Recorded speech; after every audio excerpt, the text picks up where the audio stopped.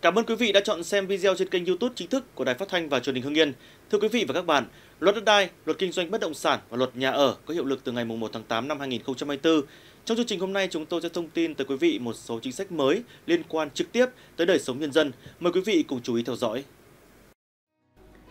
Theo nghị định mới ban hành, từ ngày 1 tháng 8, thời gian cấp giấy chứng nhận quyền sử dụng đất, gọi tắt là sổ đỏ,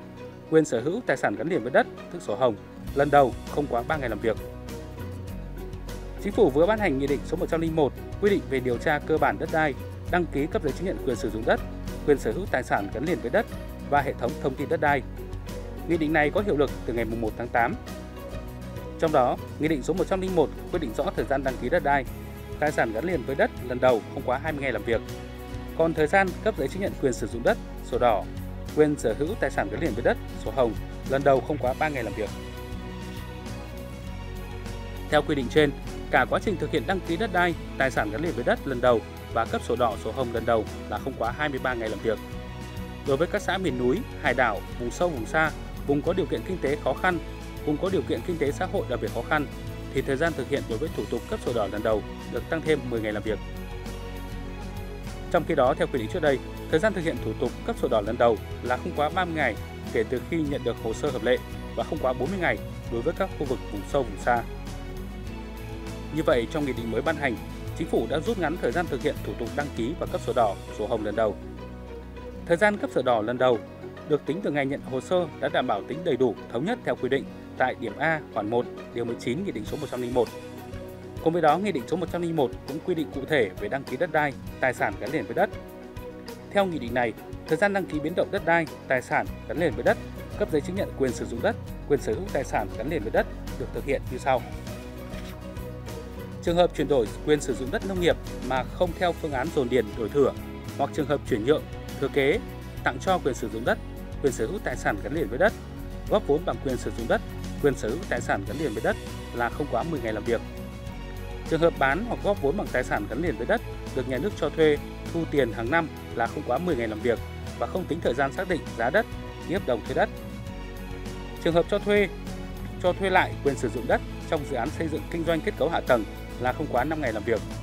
Trường hợp xóa đăng ký cho thuê, cho thuê lại quyền sử dụng đất trong dự án xây dựng kết cấu hạ tầng là không quá 3 ngày làm việc. Nội dung đăng ký đất đai, tài sản gắn liền với đất lần đầu gồm thông tin về người sử dụng đất, chủ sở hữu tài sản gắn liền với đất, người được giao đất để quản lý gồm tên, giấy tờ nhân thân, pháp nhân, địa chỉ của người sử dụng đất, chủ sở hữu tài sản gắn liền với đất và người được giao để quản lý. Thông tin về thửa đất gồm số thửa đất, số tờ bản đồ, địa chỉ, diện tích, loại đất, hình thức sử dụng đất, nguồn gốc sử dụng đất và các thông tin khác về thửa đất. Thông tin về tài sản gắn liền với đất gồm loại tài sản, địa chỉ, diện tích xây dựng, diện tích sàn, diện tích sử dụng, hình thức sở hữu, thời hạn sở hữu và các thông tin khác về tài sản gắn liền với đất. Yêu cầu về đăng ký quyền sử dụng đất, tài sản gắn liền với đất hoặc quyền quản lý đất, cấp giấy chứng nhận quyền sử dụng đất, quyền sở hữu tài sản gắn liền với đất đối với thửa đất và tài sản gắn liền với đất các yêu cầu khác của người sử dụng đất, chủ sở hữu tài sản gắn liền với đất, người được giao đất để quản lý phù hợp với quy định của pháp luật về đất đai. Về nơi tiếp nhận hồ sơ và trả kết quả giải quyết thủ tục đăng ký đất đai, tài sản gắn liền với đất, Nghị định số 101 quy định cơ quan tiếp nhận hồ sơ và trả kết quả gồm bộ phận một cửa theo quy định của Ủy ban nhân dân cấp tỉnh về thực hiện việc tiếp nhận hồ sơ và trả kết quả giải quyết thủ tục hành chính cấp tỉnh, cấp huyện, cấp xã, văn phòng đăng ký đất đai, chi nhánh văn phòng đăng ký đất đai, Người yêu cầu đăng ký được lựa chọn nộp hồ sơ theo các hình thức: nộp trực tiếp tại các cơ quan quy định, nộp thông qua dịch vụ bưu chính, nộp tại địa điểm theo thỏa thuận giữa người yêu cầu đăng ký và văn phòng đăng ký đất đai, nộp trên cổng dịch vụ công quốc gia hoặc cổng dịch vụ công cấp tỉnh. Nghị định số 102 hướng dẫn luật đất đai năm 2024 có hiệu lực từ ngày 1 tháng 8 đã quy định rõ bốn đối tượng không phải là nông dân và không còn giới hạn quyền chuyển nhượng tặng cho đất lúa theo Nghị định số 102, cá nhân trực tiếp sản xuất nông nghiệp là cá nhân đã được nhà nước giao đất, cho thuê đất, công nhận quyền sử dụng đất nông nghiệp, nhận chuyển quyền sử dụng đất nông nghiệp có thu nhập từ sản xuất nông nghiệp trên đất đó, trừ 4 trường hợp sau. Cán bộ, công chức, viên chức, sĩ quan tài ngũ, quân nhân chuyên nghiệp, công chức quốc phòng, công nhân và viên chức quốc phòng, sĩ quan, hạ sĩ quan, công nhân công an, người làm công tác cơ yếu và người làm công tác khác trong tổ chức cơ yếu hưởng lương từ ngân sách nhà nước. Người hưởng lương hưu,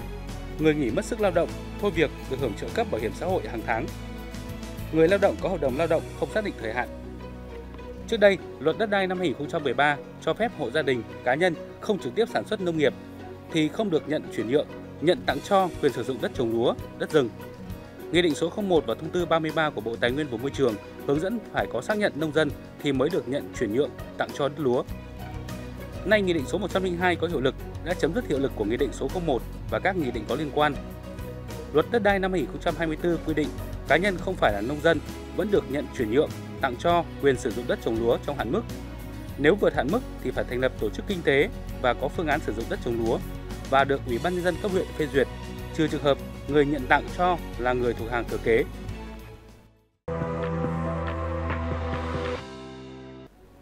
Luật đất đai năm 2024 quy định cá nhân trực tiếp sản xuất nông nghiệp được nhà nước giao đất nông nghiệp trong hạn mức. Cụ thể, giao không quá 3 hecta cho mỗi loại đất trồng hàng năm, đất nuôi trồng thủy sản, đất làm muối đối với tỉnh, thành phố trực thuộc Trung ương, thuộc khu vực Đông Nam Bộ và khu vực đồng bằng sông Cửu Long. Giao không quá 2 hecta cho mỗi loại đất đối với tỉnh, thành phố trực thuộc Trung ương khác. Đối với đất trồng cây lâu năm, giao không quá 10 hecta đối với xã, phường, thị trấn ở đồng bằng, không quá 30 hecta đối với xã, phường, thị trấn ở Trung Du, miền núi. Hạn mức giao đất không quá 30 hecta đối với đất rừng phòng hộ, đất rừng sản xuất là trồng rừng.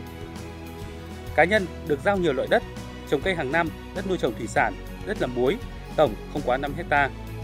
Trường hợp được giao thêm đất trồng cây lâu năm, hạn mức không quá 5 hecta đối với xã, phường, thị trấn ở đồng bằng và không quá 25 hecta đối với xã, phường, thị trấn ở Trung Du, miền núi. Trường hợp được giao thêm đất rừng sản xuất là trồng rừng, hạn mức giao đất rừng sản xuất không quá 25 hecta Diện tích đất nông nghiệp của cá nhân do nhận chuyển nhượng, thuê, thuê lại, nhận thừa kế được tặng cho quyền sử dụng đất, nhận góp vốn bằng quyền sử dụng đất từ người khác, nhận khoán được nhà nước cho thuê đất không tính vào hạn mức giao đất nông nghiệp quy định như trên. Đối với cá nhân không trực tiếp sản xuất nông nghiệp, nhận chuyển nhượng, nhận tặng cho quyền sử dụng đất trồng lúa quá hạn mức tối đa là 3 ha hoặc 2 ha tùy tỉnh thành thì phải thành lập tổ chức kinh tế có phương án sử dụng đất trồng lúa và được Ủy ban nhân dân cấp huyện phê duyệt. Ngoại trừ trường hợp người nhận cho tặng là người thuộc hàng thừa kế thì không bị giới hạn bởi hạn mức.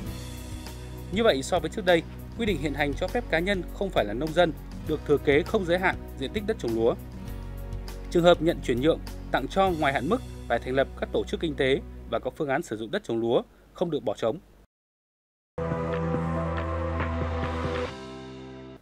Điều 160 Luật đất đai quy định các trường hợp áp dụng giá đất cụ thể như sau.